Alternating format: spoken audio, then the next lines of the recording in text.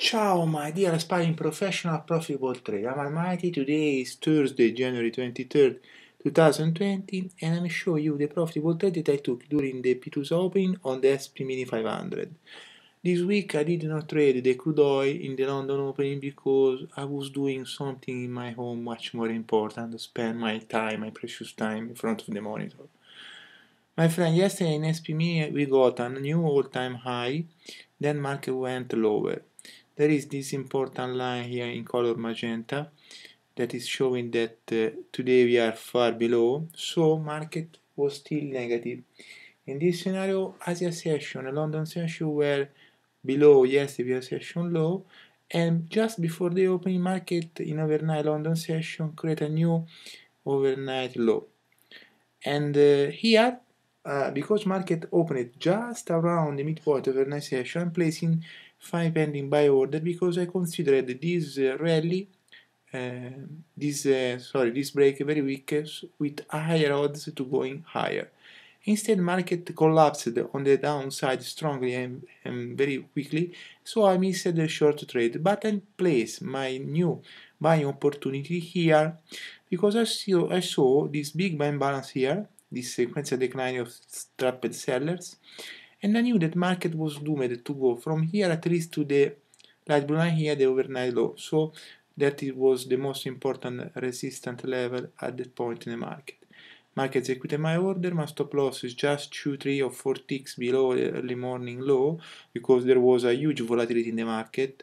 My final target is just on the resistance level of the previous overnight low and market took me out to stop profit. Why? Because after market went in my direction but not exploding volatility, so it was a sign that not many sellers were trapped.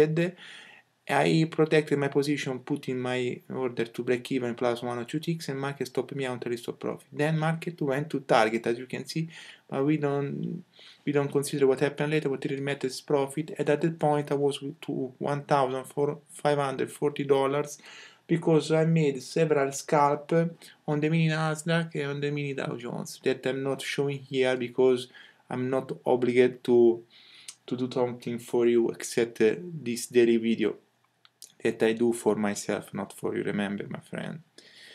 Now I'm showing you the second uh, buy sell opportunity because I'm professional trader, I trade markets in every direction where there is opportunity.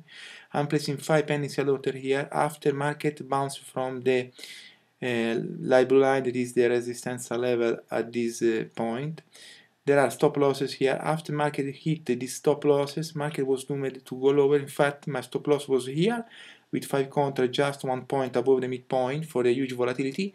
My final target is one one tick above this uh, level here that is the top of the previous gap still opening. You can see this yellow rectangle and uh, then I'm placing another target here in the middle distance. Market took my first three target and I move my stop loss from here break even plus one or two ticks and unfortunately market lacked the volatility to the downside and stopped me under the stop profit unfortunately.